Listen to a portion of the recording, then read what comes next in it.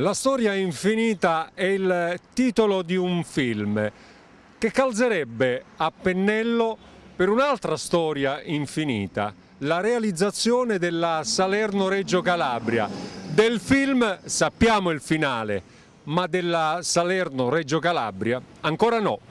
È una, è una, vicenda che colpisce eh, la collettività che però è stata di fatto inerme, nel senso che abbiamo, abbiamo accettato tutto questo e oggi paghiamo il dazio di, eh, di una, una, un senso civico assente, quindi nelle varie manifestazioni in cui il popolo può autodeterminarsi, quindi nelle, nelle votazioni o, o, nelle, o, nelle, contestazioni noi siamo mancati e purtroppo questo è quello che ci, ci ha riservato lo Stato italiano. Senta, ma l'autostrada Salerno-Reggio Calabria, riusciremo a vederla completata secondo lei? Credo di sì.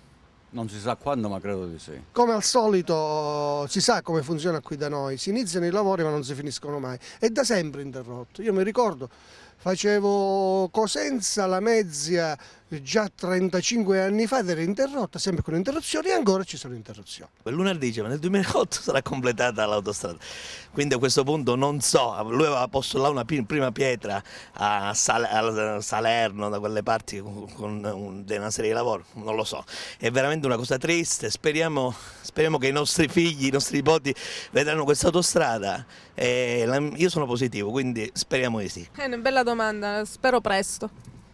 Spero presto, ma la vedo, la vedo, dura. Se fossimo un paese serio, dovrebbero immediatamente sospendere il direttore dei lavori, la ditta appaltatrice, il responsabile, il ministro e metterli in galera, prendere la chiave, buttarla e dopodiché fra i 7, 8, 10 anni finalmente le faremmo uscire.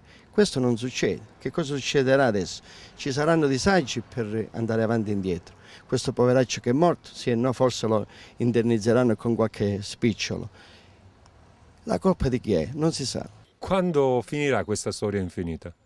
Eh, credo che, eh, visto la mia età, e mi ricordo da quando ero piccolo che era sempre in eh, continua manutenzione, non so, eh, la vedo lunga.